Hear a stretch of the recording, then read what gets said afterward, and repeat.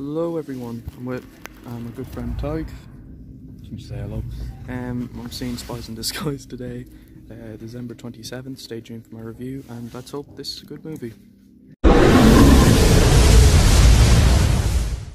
Spies in Disguise is the latest film by Blue Sky and is directed by Troy Quane and Nick Bruno. Agent Lance Sterling is the world's greatest spy and teams up with Walter Beckett, a young scientist in training and is very smart.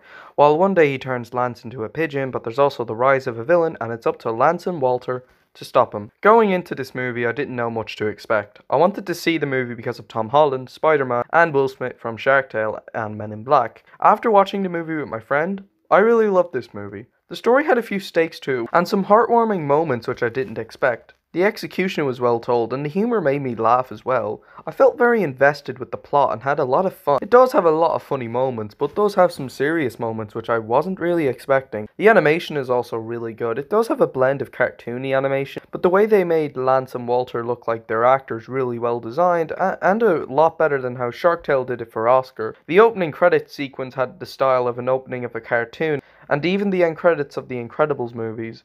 The action was really fun. There's a lot of explosions and it's very high scope action, like Kingsman The Golden Circle and The Incredibles 2, where the action does get more intense. The music was also pretty good. It doesn't add a whole lot to the movie, but it's catchy and added to some of the storyline. As for the characters, Walter Beckett is definitely my favourite character.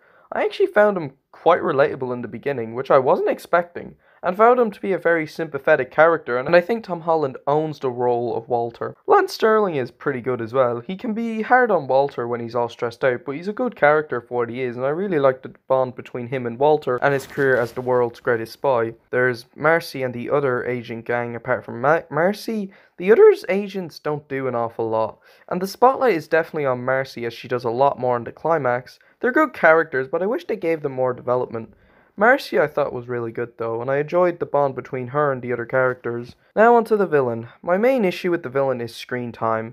He's in the beginning and a few scenes in the second act, but I wish he had more screen time. That was my main issue. I wish we saw more of him. We do see a lot of him in the third act and the climax, which is an awesome climax, by the way. He's got good build up, and he is a really, really good villain, and a character that definitely had the stakes high, which I wasn't expecting at all but I thought he was well voiced and well written and a real kick ass design with his robot arm. What he does is just pure evil, and the third act is when the villain really does shine. Spies in Disguise, I have to say, really blew me away. It ain't perfect by any means, as it does have flaws there and there, but it's an excellent original idea from Blue Sky, and I'd love to see a sequel, and I'd love to Spies in Disguise to become a trilogy. My ratings for Spies in Disguise are a 9.5 out of 10, 94%, an 8, and 4.5 stars out of 5.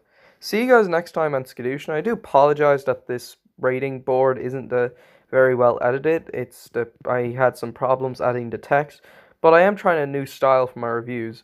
Hope you guys enjoyed the review, and I'll see you guys next time and have a great day, everyone.